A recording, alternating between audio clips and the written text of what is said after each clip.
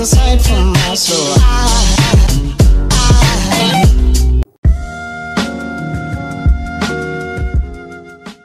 Chicas y chicos, espero que estén súper, súper, súper bien. En el día de hoy voy a estar recreando tres apuntes de mis seguidores.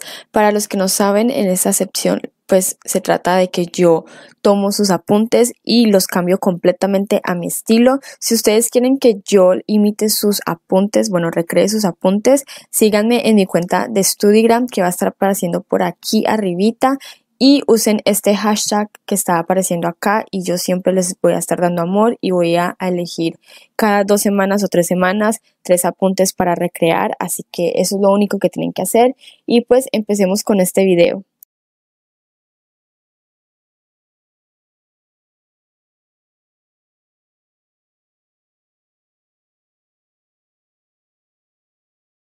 El primer apunte que estaré recreando hoy es de arroba swan.journaling que por acá abajito les va a aparecer su Instagram para que vayan a seguirla. Tiene apuntes demasiados bonitos.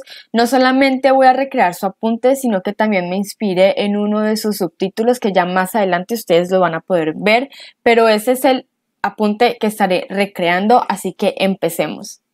Empezamos a primera vista se ve que es un apunte que no tiene mucho, mucho texto, entonces claramente yo quería hacer un título súper llamativo, pero me pasé un poquito con el tamaño del título porque ya después como que me faltó un poquito de espacio, pero igual quedé muy contenta con el resultado.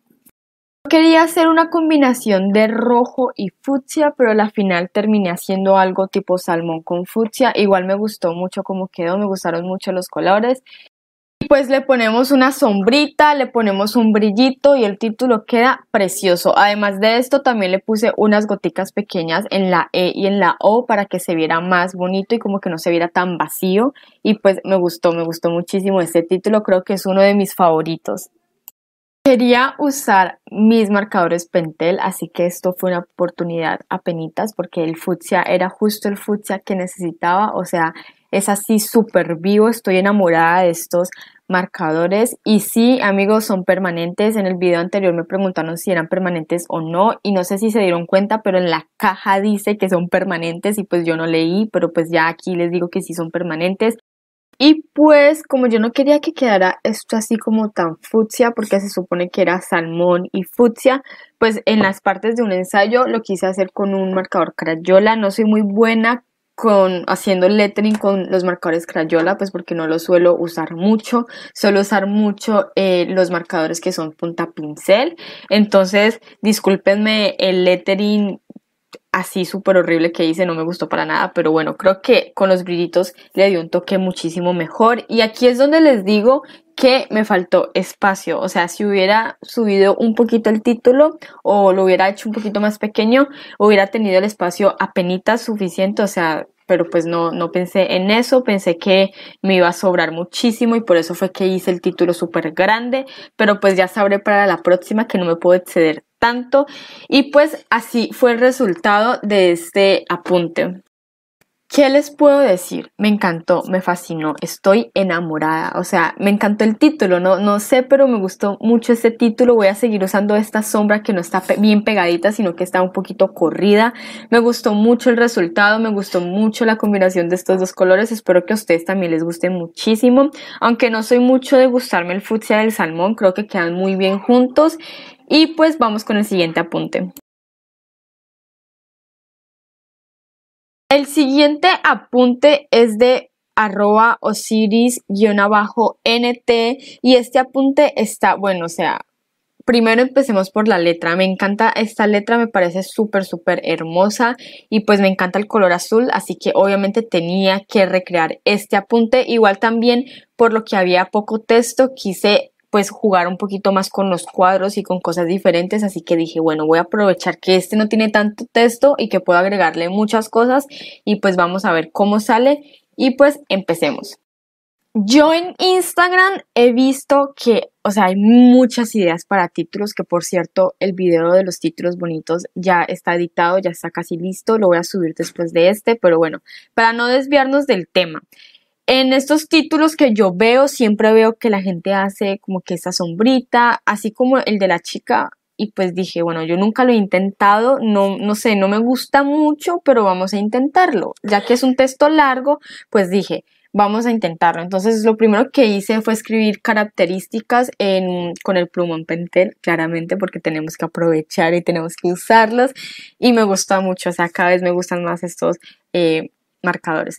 Bueno, en fin, lo que hice fue hacer características pequeños y debate, hacerlo un poco más grande. Lo que he visto de este título es que tienen que quedar las letras separadas para que la sombra no se pegue, como que no se vea todo súper junto, así que por eso este lettering lo hice un poquito más separado de lo normal. Y ya luego, pues ustedes están viendo, hice ese efecto como de 3D y como quería hacer un degradado entre morado clarito y morado oscuro, decidí que en vez de hacer el, el degradé, solamente pintaba la parte de adelante oscura y la sombra un poquito más clara y amé el resultado completamente. Aquí es donde viene la participación de Swan Journaling. Por aquí les va a estar apareciendo una imagen, o sea, ella hizo este apunte que está acá, entonces yo me inspiré en esto, me gustó mucho cómo quedó este cuadrito y lo que hice fue hacer lo mismo, pero en vez de poner eh, lo que ella puso, lo que puse fue que es, como para que no se viera tan vacío, ya que este iba a ser un apunte muy sencillo, pensé que esto le daría un toque más bonito y como diferente y me gustó mucho cómo quedó el cuadro, en serio. Lo único que me arrepiento es que los círculos no los hice así muy bien hechos, sino que me quedaron un poquito chuecos, pero igual creo que no se nota mucho, bueno, creo que sí, pero pues no se ve tan feo. Aquí en esta parte tuve un error que no sé si ustedes se habrán dado cuenta, pero la chica tenía eh, los cuadritos enumerados, o sea, yo pensé que era primero un lado, luego el otro, luego el otro y así como que en zigzag, pero no era así, era primero una, una línea y luego seguía la otra línea, entonces puse introducción, conclusión, exposición oral, entonces no era así, era primero introducción, luego exposición oral, luego discusión y ahí sí conclusión.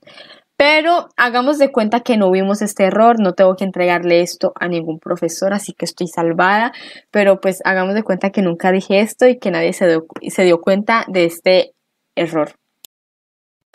Para los subtítulos no quería algo así súper grande como súper, no quería saturar este apunte, así que lo que hice fue hacer este, pues esto súper sencillo, solamente escribí los nombres con el marcador y luego los voy a delinear con negro como para que quede, y, o sea, como que para que combine con el título, como para que no quede así súper blanco y ya luego ustedes podrán ver que me faltó un pedazo en donde iban los participantes. Entonces yo lo que quería hacer al principio era coger un papel morado y escribir sobre el papel morado con blanco para que quedara así como para que resaltara, no sé si me explique, pero al final no encontré un papel morado y pues a la final solamente puse un cuadro blanco y pues no se veía muy bonito, ya luego quise hacerle un margen y pues me quedó pegamento alrededor del margen y pues entonces quedó como blanco, entonces no sabía qué hacer, entonces bueno, a la final así quedó el apunte.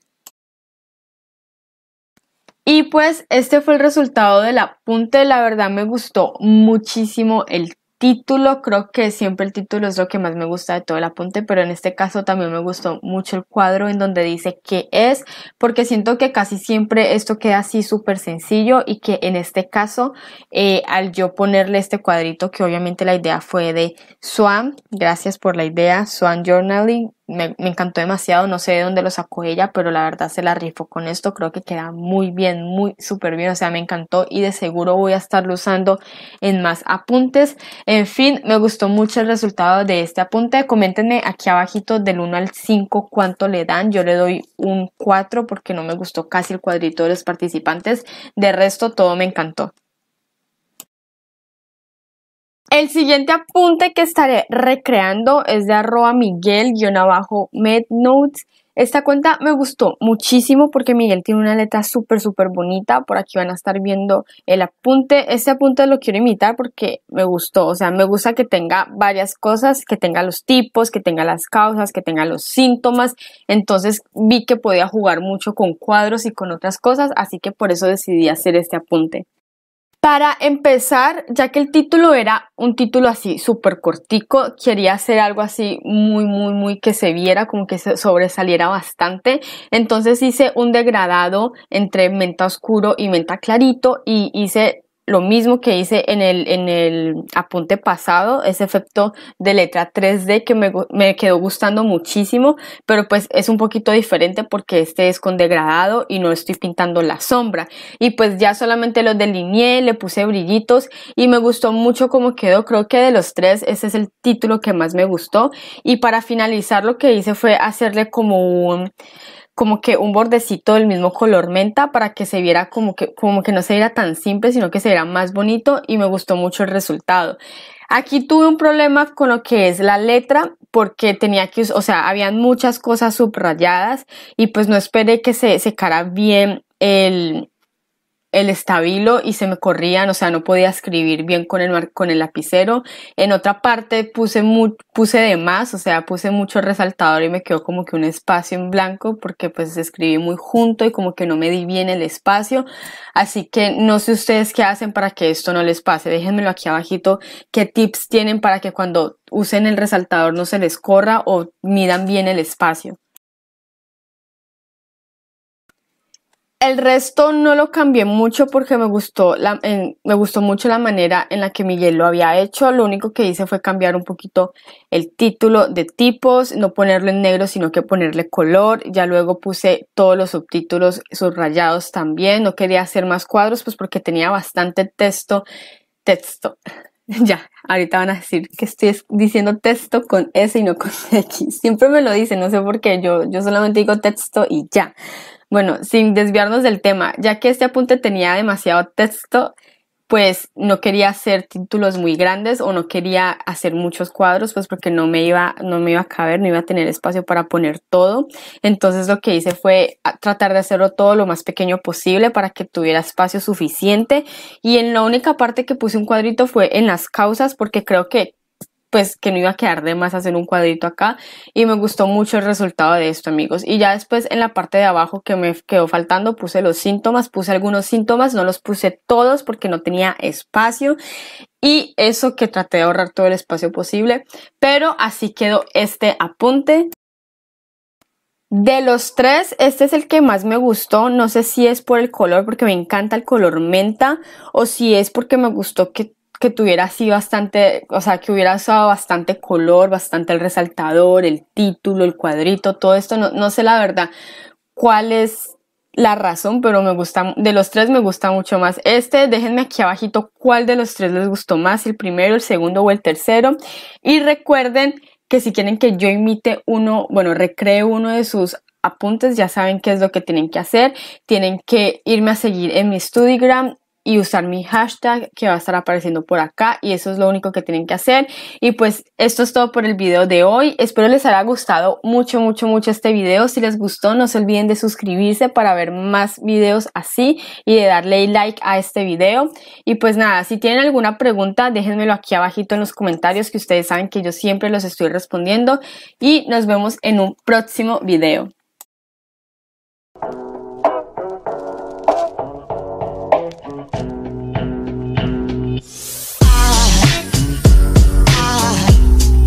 was aside from us, so I ah.